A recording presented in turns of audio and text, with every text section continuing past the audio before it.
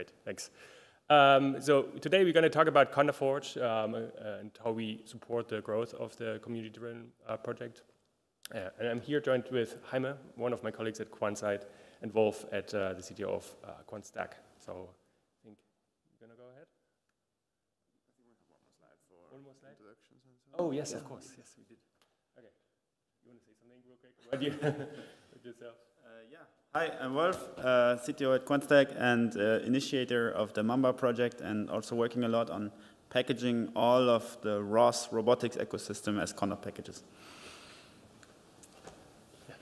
I'll take over this one. Eh? so uh, I'm Jaime. Uh, I've been working with the Conda ecosystem for a few years as a user because uh, it enabled my research as a PhD student. And basically I didn't have to depend on IT anymore, which, you know, it frees some ties.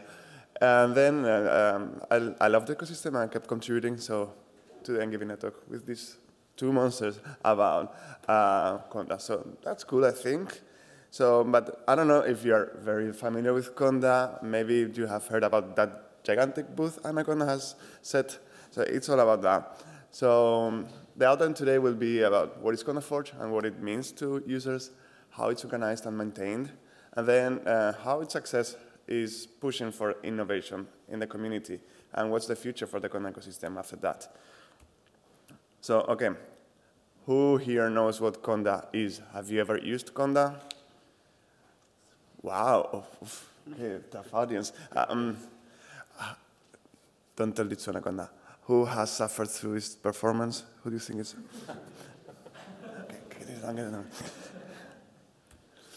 so, some historical context for Conda. Let's go to the BC times before Conda existed. So you had to be really lucky or uh, very stubborn to make things work, right? If you wanted to install Python across platforms, you needed maybe user permissions because the default paths were going to like uh, the admin places. Compile extensions, good luck. Uh, especially on Windows if you don't have a compiler set up, which then that wouldn't work. Then Anaconda, then called Continuum Analytics, comes and drops Conda like, hey, we solved all of that for you. Uh, and it's like, wow. So it immediately got uh, a success because uh, the Conda package format itself uh, was thought about a precompiled binary, so you don't have to depend on compilers at all. Language agnostic, the structure of the package, you can see on the right side, is it doesn't really have to be about Python only, even if, if it's Python focused, right? So you can install, this is the recipe for core utils, the package for core utils. So all your Unix binaries are there under bin. You have some metadata, but basically it's the Linux prefix with some extra stuff. Again, no permissions needed. It features a Conda a package manager for dependency solving, and you could install it with single clicks or single step uh, instructions. So you didn't have to like kill a process to let the completion finish.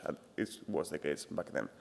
Um, pip and PyPI wheels were not quite there yet, so it wasn't as easy to install things without compiling. If you wanted to install NumPy or SciPy, again, good luck. So this, however, introduced more problems. Now Anaconda Continuum Analytics uh, was the single vendor to a lot of packages that people were relying on. But of course, a single company can only produce packages for a wider audience. What about all these niche sub-communities that require special packages? Or maybe there's a research group who is developing their own tools and they want to distribute them to the immediate circle of authors, uh, but they couldn't just say, hey, Anaconda, can you package this weird Fortran stuff that we've been doing, you know, because so this was fixed by introducing a platform where people, users, could upload their own packages. It was called Binstar, later renamed to anaconda.org. It was 2014. Um, so a lot of subcommunities started emerging around this service, and they were producing their own packages. IOOS, Bioconda, SciTools, Omnia, AstroPy, from, as you can see, from different subcommunities in, in scientific fields. This is nice. Everything's fixed, right? Well, many subcommunities it had some problems. Basically, they were using Conda build, Conda build all, an extension on that to run the CI on a monorepo full of recipes. So every time you wanted to update something, you had to run everything. But Travis CI and AppVeyor, things like that were already a thing back then. So it worked for a small amount of packages. But in, initially, when people had to contribute something, you wanted to give them permissions, you were giving them access to the full thing. So some problems with the setup. Many channels, duplication of effort. Some packages were maintained in several communities at the same time, and even more worrisome with subtle and incompatibilities. So you couldn't mix and match. And at some point, the scale of the success was pushing the limits of the CI, the free uh, tier of uh, CI services. So you couldn't build the full repo, the full channel in a single hour. And the permission stuff I mentioned. How was this fixed? Well, let's go to SciPy 2015. There was a sprint or something like that. I'm not really sure.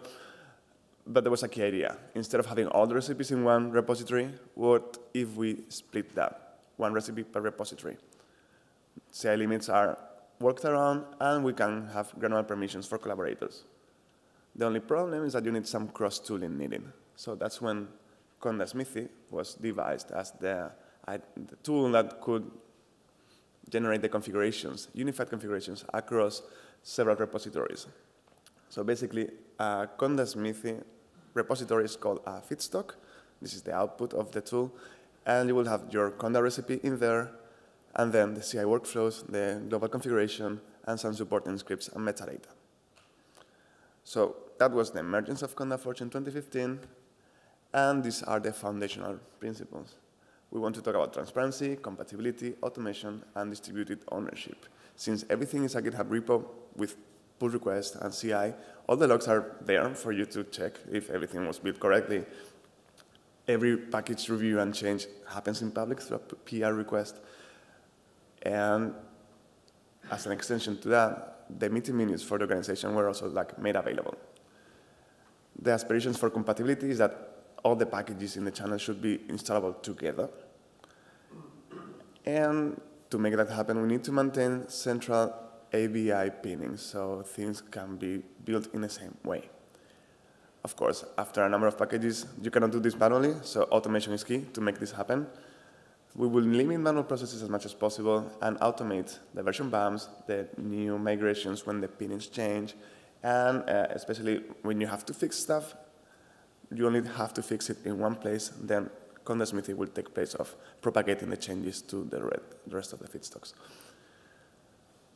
Since every repo is autonomous in that way, like it has everything they need to operate, uh, there's no single point of failure in principle, except for one, the stage recipes. This is the funnel to the ecosystem, the entry point. And yeah, they can operate autonomously, in principle. This has been a huge success uh, it's actually quite interesting that yesterday, CondaForge turned seven. If you look at the organization creation date, well, it was yesterday, the birthday, so happy delayed birthday, CondaForge. And some numbers to give you an idea of, um, you have to put a K on most of them. So 3,800 maintainers, volunteers, contributing packages to the feedstock or helping um, the assistance. 26 of those are active core members, and we have uh, 15 generous volunteers in the stage recipes repository. This is, these are the people that review every recipe that gets to the ecosystem. 16,000 repositories, 17,000 package names, and I would say just almost a million artifacts. This is tarballs that are, this is growing super fast. Six platforms, I don't know how many commits, I don't know how many issues and PRs, a lot of them like really like just made by bots. Most of the traffic is bots. Five, terabytes of storage that Anaconda is paying for, thanks. Uh, and you that's the bandwidth we use monthly. So key benefits of all of this. We have a standardized build environments. You don't have to mess with your system to actually deploy compilers and all the configuration of the libraries. Everything is either in a pre-configured state through a Docker image, or there's a preparation script to accommodate the CI image for Windows and macOS. And um, the conda build configuration is cross-repository, so define it once, use it everywhere kind of thing. And the pinnings for the important packages like compiled libraries are ABI aware through like curation and checking on the ABI laboratory and so on. the one feedstock per recipe, one repository per recipe, enables a better collaboration model in my eyes.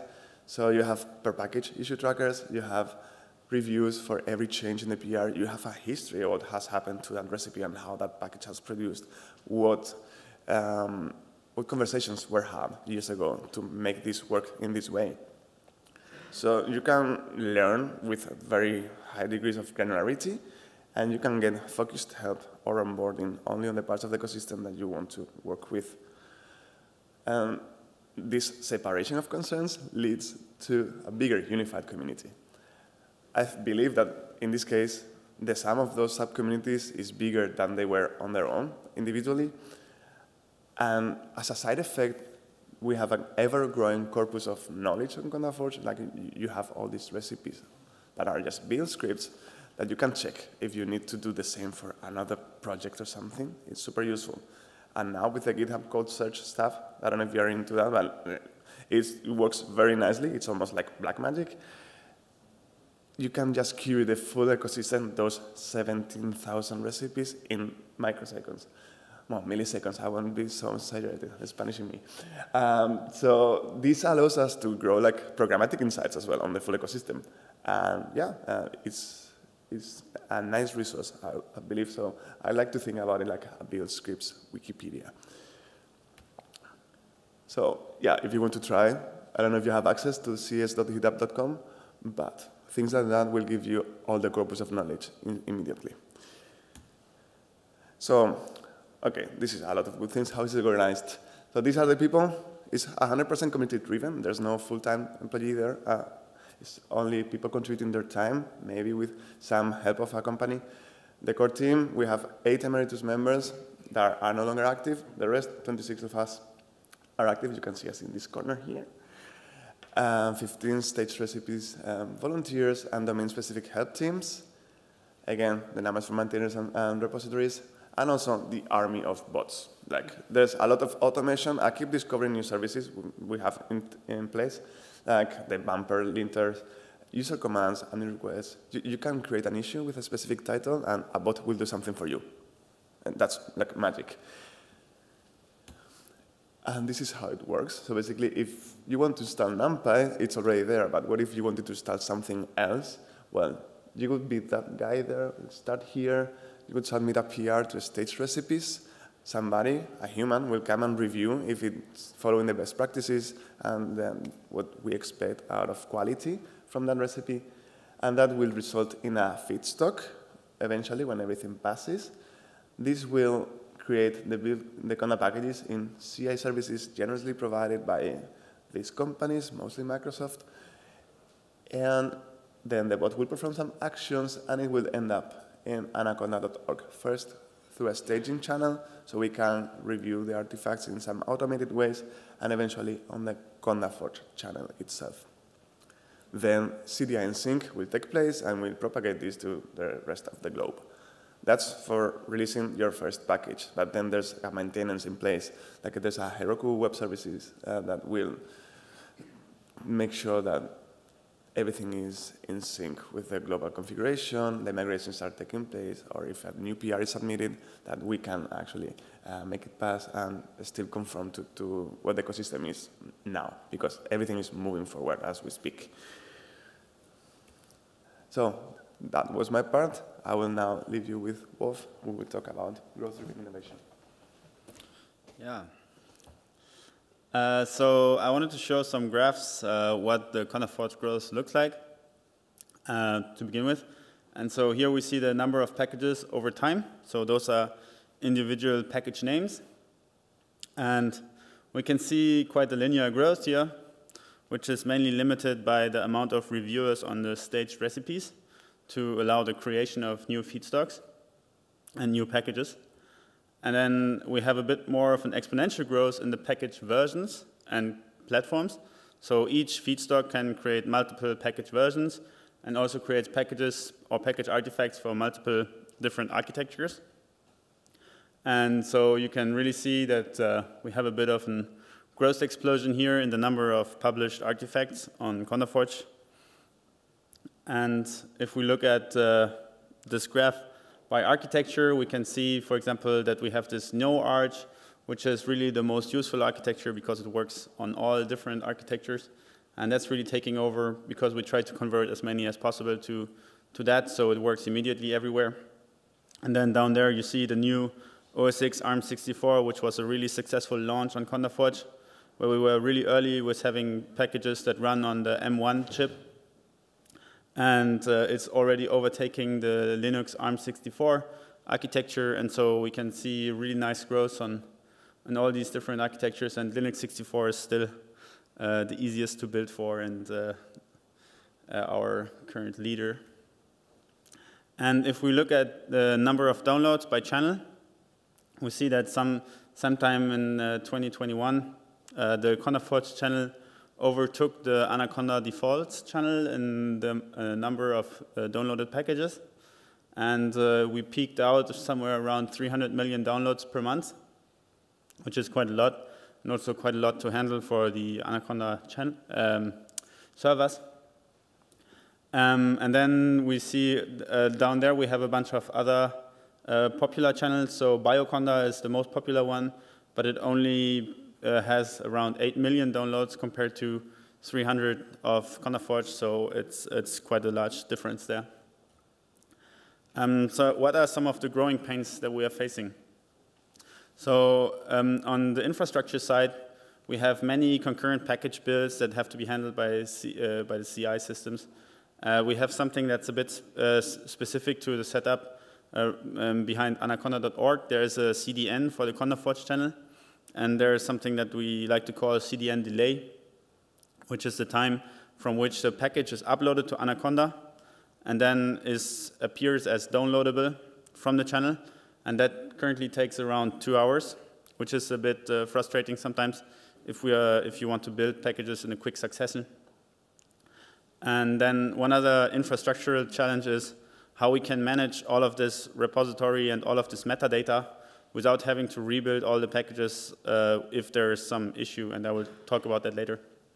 And then on the client side, some of the pains that we are facing is that the repo data.json, which is the index of all the packages and all the artifacts that are available from that channel, is growing and growing and growing. And currently, just this indexing file is around 120 megabytes of JSON, which is around 20 something megabytes gzip. But even that is pretty large if you think about that it's just downloading um, some like indexing data. And also all of these packages create a huge solution space for the SAT, the solvability, uh, the, the satisfiability solver that we run to figure out what dependencies are needed for a given package. Um, and now um, to elaborate a bit more. So um, we at CondaForge, we've burned through a couple of CI services. and uh, Travis, for example, stopped working for us. Drone also recently stopped working for us. And uh, Circle CI, I, I, I, have actually never seen uh, working, but I think we still have support somewhere. Um, and so currently we're really um, yeah, at the mercy of uh, Microsoft, let's say. Uh, they uh, are really generous with us and give us 200 parallel Azure runners and most recently, since a couple of weeks, we also have 60 parallel GitHub runners. And that's really what enables the CondaForge scale. Without that, we'd be not able to sustain all these packages and package builds. And for long-running long builds, we're currently investigating another solution called cirun.io, uh, where we can uh, on-demand launch uh, instance on uh, um, some cloud vendors like AWS or Azure. And those can have more CPUs, uh, so more power, because on the free runners we are limited to two cores, and also uh, I think 72 hours of running time instead of three hours that we are limited by, by the free tiers. And for some packages like Qt or TensorFlow, they really long, uh, run for a long time, so we need that to build everything in the cloud. Sometimes these packages are built on uh, contributors' laptops, and that's not great. Um, and so one other thing in, on the infrastructure side that we are doing now is we have all of these automated PRs to the feedstocks. And now we check for solvability to, uh, before we issue the uh, PR, because otherwise sometimes um, basically we should be able to solve it based on all the uploads, but then we have the CDN delay. and then we would get all the red check marks that we don't want to see on the PRs. So we test that using um, infrastructure beforehand. Um, so one thing that we are currently uh, working on um, at Quantstack is to add more mirrors and mirror support into the ecosystem. And the thing that we're currently investigating is to use an OCI registry uh, that is um, a very simple storage solution. Um, and GitHub packages offer something like that uh, to push all of the packages to and have a mirror so that we could um, have multiple mirrors to select from um, and have it as a failover.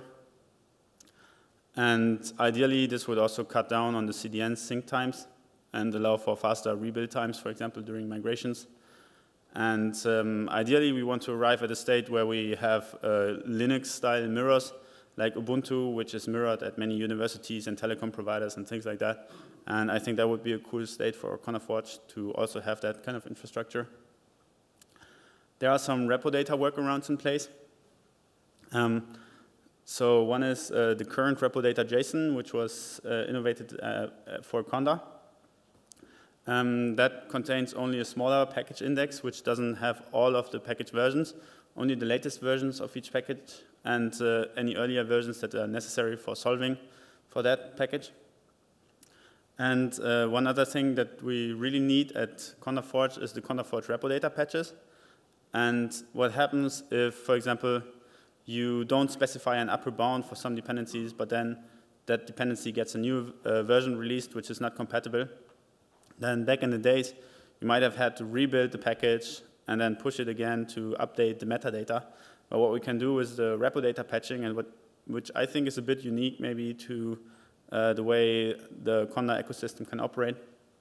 is with the repo data patching, we can uh, change, for example, the upper bounds of certain packages to make sure that the solutions are proper and so that really helps with managing all of uh, dependencies and this rolling uh, release. And if there are any incompatibilities, we can patch them over basically on the fly. Um, now, one thing that we innovated on the Quantstack side is Mamba. And Mamba is uh, um, an improved drop-in replacement for Conda. Um, and that uses the same CLI arguments, so it's pretty compatible. If you know Conda, you can try Mamba right away. Um, and for Mamba, we are using C++ as an implementation language for most parts, but still some Python wrappers around. And most importantly, we tried to use libsolv for fast package resolutions. And that's the library that's also used by OpenSUSE and Red Hat in the RPM ecosystem. And then libcurl for parallel downloads and libarchive for the extraction. And so the key difference between libsolv and the way Conda operates is that libsolv is using a backtracking satisfiability solver, and Conda is doing a global optimization scheme, and this global optimization, uh, at least from what I understand, is one of the things that uh, kind of makes Conda a bit slow in certain circumstances. And so we've had pretty nice successes with using Mamba, and uh, yeah. And now for Mamba, we also won a CZI grant uh, that we wrote uh, last year, and that's currently ongoing. And there are some additional things for scaling Conda Forge in there. So one thing is to use zchunk for repo data, which is also something that comes from the RPM, Fedora, Red Hat world. And zchunk allows for smaller repo data downloads because you can download only the necessary chunks to complete the repo data bits that you already have locally so only the updates are downloaded. And then um, there, there will also be support for mirrors, uh, like I described before. So we will have mirror support with automatic fastest mirror selection. Uh, OCI registries and S3 buckets will be natively supported. And there's ongoing work to yeah, use the GitHub OCI registry. And all this is implemented in another library that's called, currently called PowerLoader, and then libpowerloader. And ideally, this can be reused by anybody who wants to do something that looks like a package manager. And one other thing that's necessary for scaling further with CondaForge is to have better error messages.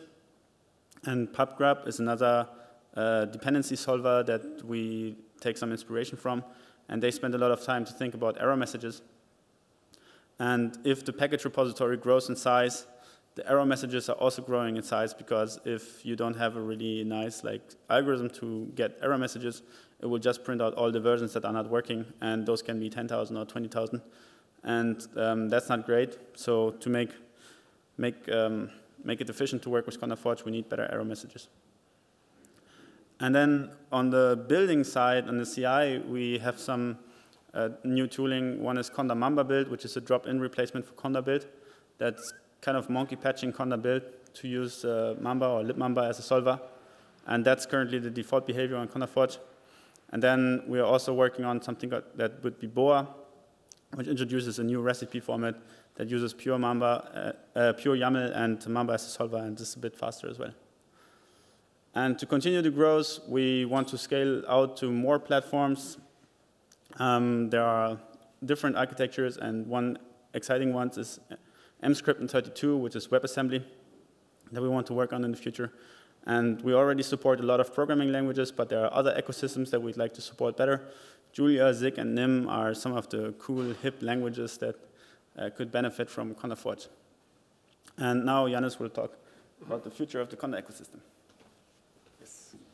Thanks. Um, thanks, Wolf. Thanks, Jaime. I think this is actually quite uh, fascinating how much technical bits and you know pieces for day-to-day -day, uh, maintenance of Conda Forge happen. I want to kind of step, go one slide back. First, I want to say this, uh, it's kind of a privilege to talk about this because I just joined the Conda community a year ago, approximately, when I joined Anaconda. And of course, like just a caveat, uh, it's probably going to be incomplete, but I want to kind of point out that on the Conda development side, like basically the package manager itself, we need to kind of uh, face the challenges that uh, the Conda Forge uh, project has. So one thing, of course, I wanted to highlight this graph here. It's kind of a graph of Conda and Conda build issues over the years. And as you can see, there's been a bit of a growth happening there as well, similar to how the larger uh, Conda and Conda Forge ecosystem uh, evolved. Something that I felt in, in particular uh, fascinating is that how do we make sure that while Conda has been uh, historically a single vendor project and maintained at Anaconda, we need to also you know, recognize that there are other people working in this field and we need to kind of find ways to collaborate on this um, practically. And of course, one thing that is most important is around this is governance, right? How do we, you know, as a, as a very uh, flexible tool for uh, catering to different uh, types of niches and, and user bases. How do we um, manage that um, and find common, common ground, you know, building consensus? Luckily, Conda Forge has, you know, kind of been a tra uh, trailblazer in that kind of uh, regard. They've been you know, much, much better, and because of the needs of that uh, diverse group of people volunteering for this. So and I think in many ways, Conda has to kind of catch up there. Uh, you need also also needs to figure that out and um, kind of find uh, find a kind of a, a common a common topic, a common uh, concept to to uh, governance. One thing that happened when I joined last year is that uh, reason why the Conda team at Anaconda was rebuilt as well is that we at Anaconda understand that those challenges. You know, we want to kind of change the maintenance strategy for Conda to cater to those new uh, needs in the, in the community, uh, which is defaulting to focusing, no, focusing on community support by default, making sure that we find common ground. And one thing that is central to this, and maybe you know this from Python, is we need to have a formalized process to make this happen. Uh, in Python, it's the PEP process, like the Python enhancement proposals.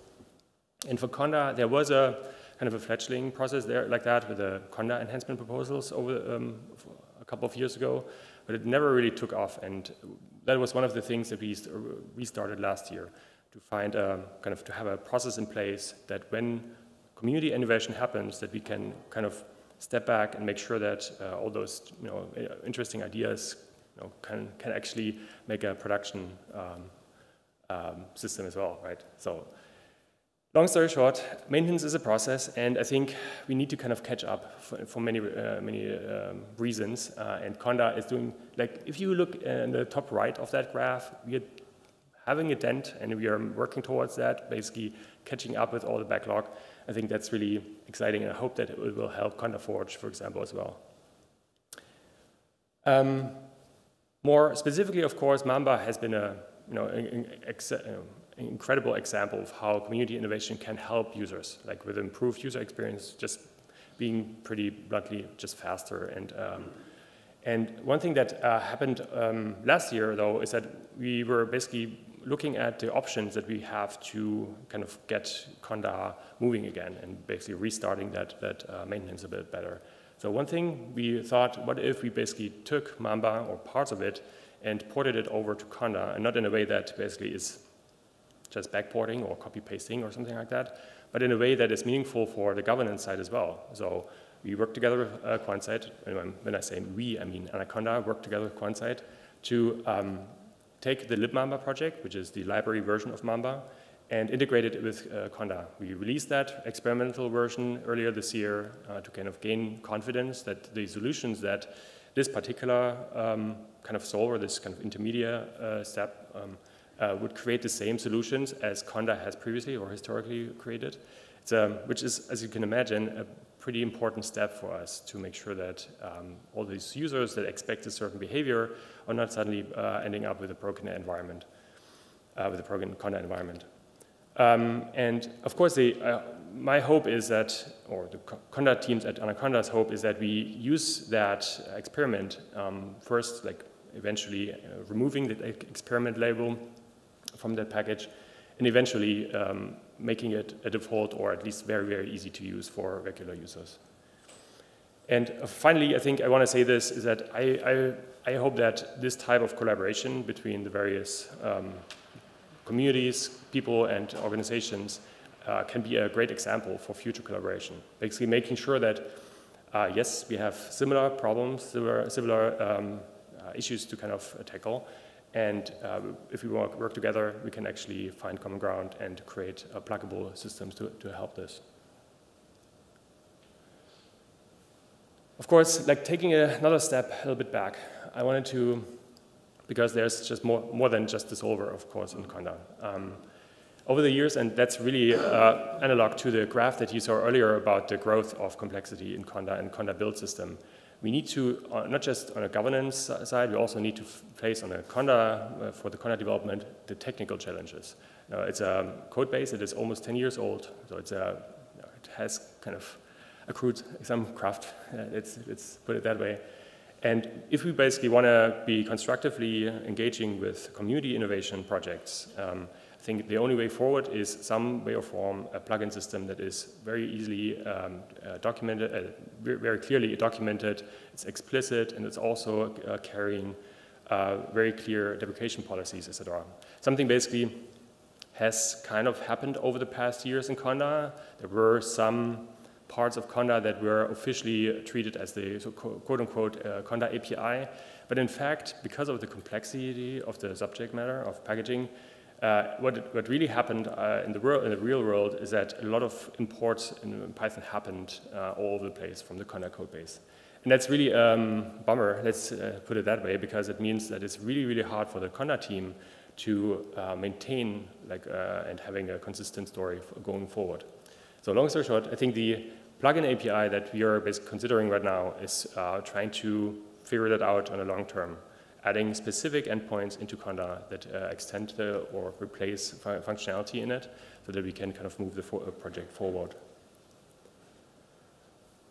And yet again, step backwards, uh, I want to say this, um, I mentioned it before, uh, Conda Forge definitely was a pioneer in figuring out volunteer, uh, volunteer-based a project. How do we basically uh, find common ground, create rules around it, and make sure that uh, things are not uh, breaking apart by, because people are involved, right? So they have a really great um, set of tools. I mean, they've, of course, that exists in other projects as well. But I wanted to call out specifically the Forge enhancement proposal system, for example, allowed it to scale and kind of to actually handle the, the various um, like needs that came with the growth over the years and a code of conduct system, and, and that's really important, I think, to kind of cater to all those different types of um, yeah, parts of the Conda Forge system uh, project is that it has separate project teams that have their own um, charter to define. So, for example, as was previously said, the stage recipes or the bot uh, and automation um, teams.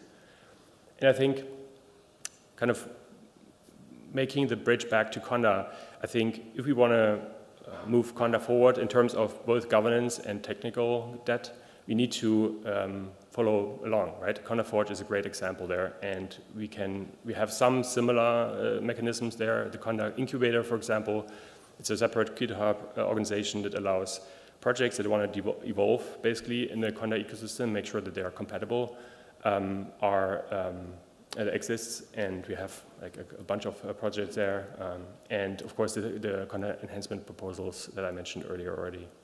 Some of the projects that exist today, you know, and those are just three of approximately 80 uh, projects that exist right now that are built on top of Conda and Conda Build, and of course including Mamba, etc. Um, are those three, like Conda lock uh, system to, to create log files similar to Poetry or pip tools, uh, or Grayskull um, tool, tool to uh, generate and maintain the Conda recipes that are required to, to build the packages in the first place. And finally, um, vendor-specific uh, extensions such as setup miniconda that allows regular users to very easily set up conda environments in their GitHub, GitHub Actions runner, runners. And that's just three of them to showcase that it's a very diverse type of tooling and, and projects, uh, project area. So yeah, there's a lot, I know. Uh, it's both technical and governance that, that we need to catch up on, and I really um, look forward to figuring this out together with, uh, the, with this large ecosystem in case you want to help. Um, of course, this is about Conda Forge in particular.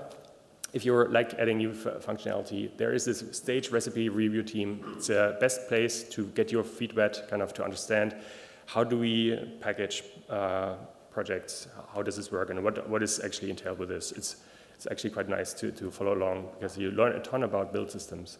If you want to uh, basically quote unquote keep things running. Uh, there's a ton of documentation or, uh, on, our, on, our, website how to do this, and I really would um, encourage you to join our GitHub channel if you, if you have any questions about this.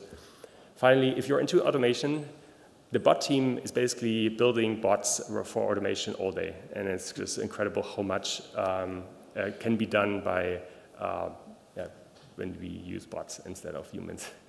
And of course, and it's probably the, the yeah, the most important one, if you want to financially or in kind support CondaForge, uh, CondaForge is a NUM-focused, uh, fiscally sponsored project, which means uh, you can donate to NumFOCUS, and it's earmarked um, for the, for the uh, CondaForge project. That will allow us basically to pay for credits on CI systems, uh, so it's, um, it's a quite fascinating thing, and of course, if you have servers lying around or have other means to do this, feel free to uh, give us a ping. So yeah, I think that's it. Uh, thank you for, the uh, for your attention, and I think we're ready for questions now.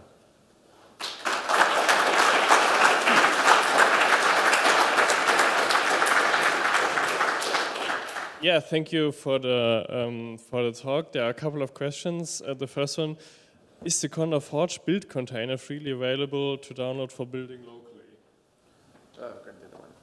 So for Linux, you you have the Linux anvils for CondaForge. They are like available on Docker Hub and Quay, I think. Uh, for Windows, we can't, but there's a um, recipe somewhere in um, an issue, an a pull request that you can use to build your own Windows image locally. That should standardize it as well, but it's basically installing the compilers for you. And on macOS, well, there's a script that will help you standardize where the SDK must be installed, but you have to take care of things like homebrew getting in the way or so. So yeah, for those cases, maybe it's better to run things in a CI if you want to experiment. Okay, thank you.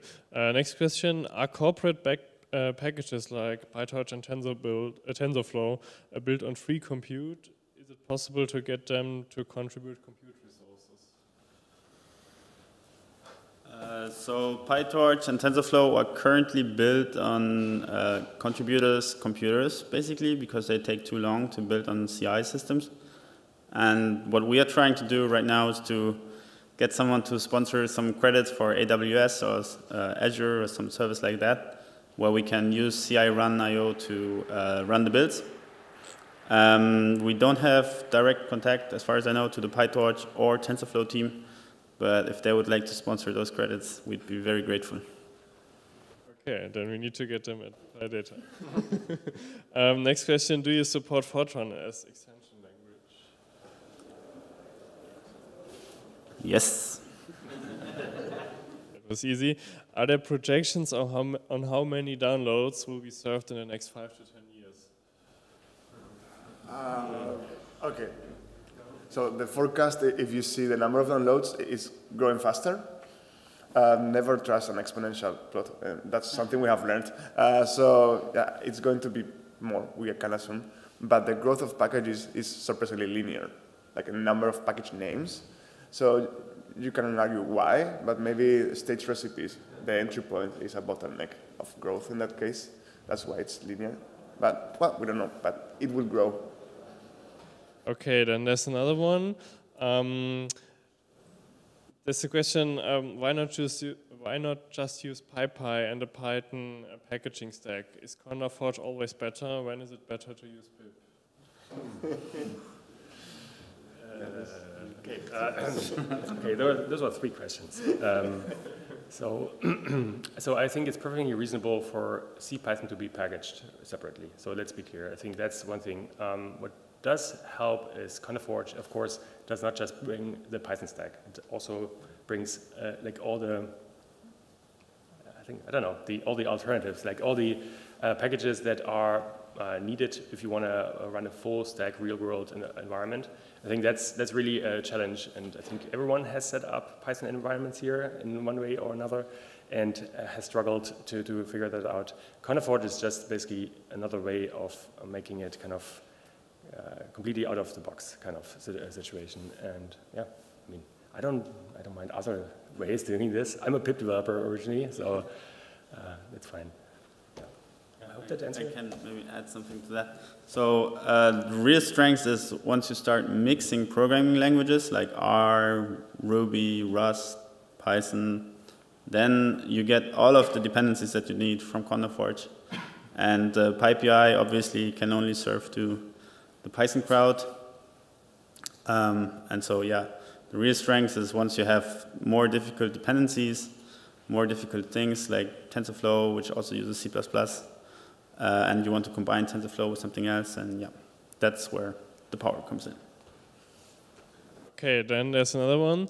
Um, correct me if I'm wrong, but it seems all packages are built centrally. Do you see this being a limit or future bottleneck at some point? But The infrastructure is built so we don't depend on a single provider, although in function, in, yeah, functionally we we are very dependent on Azure right now. But the infrastructure is prepared to actually burn through CI providers as we have uh, seen. So you can redeploy Conda Forge. You can build your own Forge with the tooling we have. Uh, some people do this for specific projects you have. If you look for Forge, something organizations, you will uh, find some uh, you can render a feedstock yourself. So I don't think it's tied to a central infrastructure, although in practice uh, it looks like that, but it's made to be like redeployable. So I don't think that's a risk. Okay, thank you so much, and thanks for the amazing talk and your work. Thank you.